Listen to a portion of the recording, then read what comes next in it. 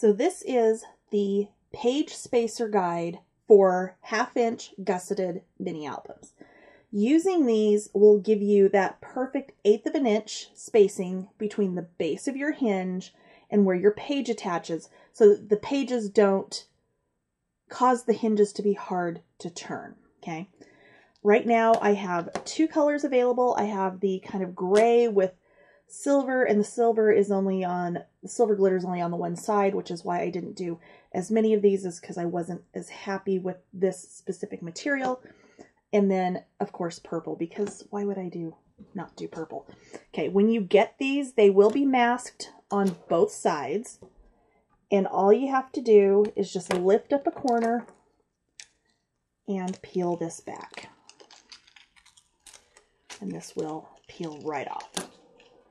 Let me do it again with the silver.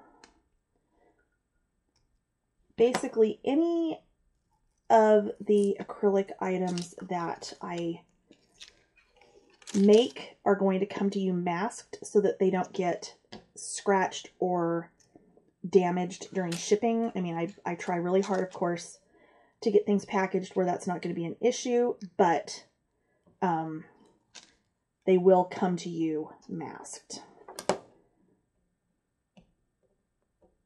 There we go. Okay, so this is what they look like. And as to how you use them, I've got a couple of just, I'm going to use my silver ones just because you'll be able to see them a little bit better. So I've got my little hinge mock-up here.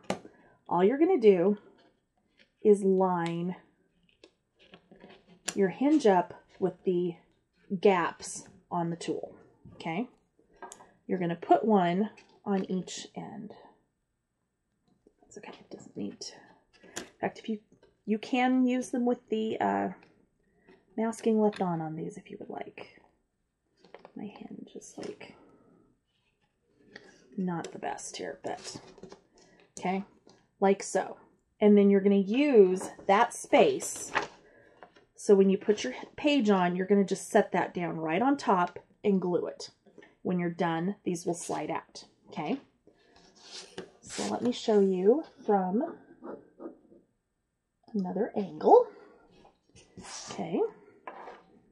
So they do just kind of slide right on. If they are standing up a little bit off the off the uh, base of your hinge, just push them down gently. This one hinge is not like fully glued on the end. Okay. All right. So like so. So you can see there's, whoops, there's my chipboard, and this just goes down over like so, okay? So then, when you're going to put your album page on, I am going to just go ahead and do my glue. One side or both sides. This will make it easy enough that I can actually do it on both sides. So I've got my glue on here. All I'm going to do is set this down right on top of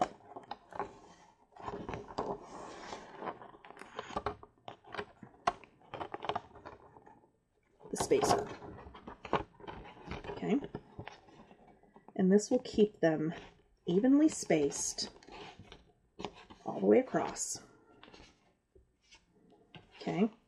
And you would just go ahead and glue all your pages on.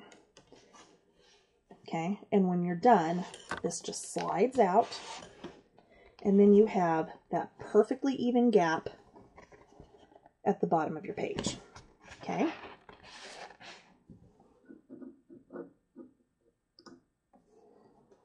So, you can see there, we've got that perfect gap on both sides page turns without any problems. Okay, so if you've got a smaller hinge, so say here I've got a little three page hinge. This will still work. You're going to do it the exact same way. You're just going to slide it on. And in this case, you could slide it on in the middle. You could slide it on down at the end. I think I'm going to just go in the middle here. Just like so. And this one is a shorter one, which I did on purpose just to show you it doesn't matter how long your hinge is. This will work any way you want to do it. Okay.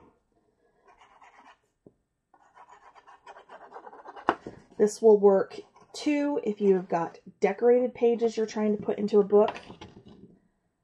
So I am literally just, Actually close up the end on this one.